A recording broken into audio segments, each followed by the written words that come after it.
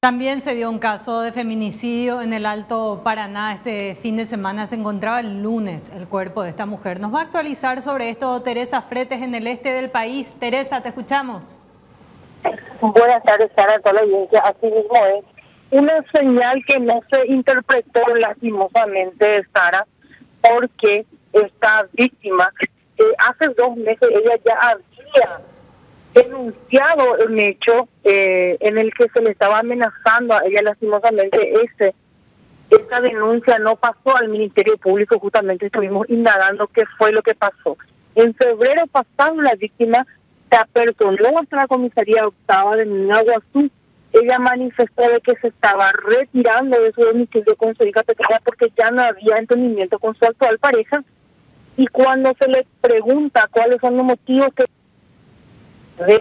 que le, lleva a tomar esa decisión, ella afirma de que había amenaza de por medio.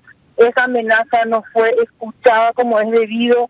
Lo cierto es que como la policía interpretó que se trataba de un hecho de acción penal privada, no remitió al Ministerio Público la denuncia y por consecuencia no se investigó. Y bueno, ahora estamos lamentando este caso fatal. Escuchemos al comisario de la comisaría, al jefe de la comisaría octava, eh, quien nos eh, detalló de cómo ellos actuaron en este caso y por qué no se dio esa comunicación oficial. En ese momento la misma viene a poner a conocimiento de esta dependencia, que la misma estaría abandonando su domicilio en donde estaban residiendo con sus parejas, ¿verdad?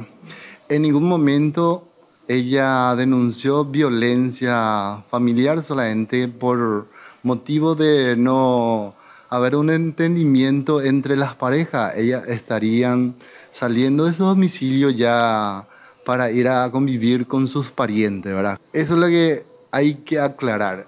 En esa situación, en ningún momento la señora que es víctima actualmente manifestó ser víctima de violencia, ¿verdad? El hecho de que ella haya dicho que se está saliendo por, de la casa por una amenaza, ¿a ustedes no le llamó mucho la atención? Acá hay una cosa, cada familia tiene un problema diferente, ¿verdad? Nosotros tenemos que escuchar todas las víctimas, ¿verdad? Analizamos el proceso, le entregamos para que ella pueda iniciar un proceso, ¿verdad?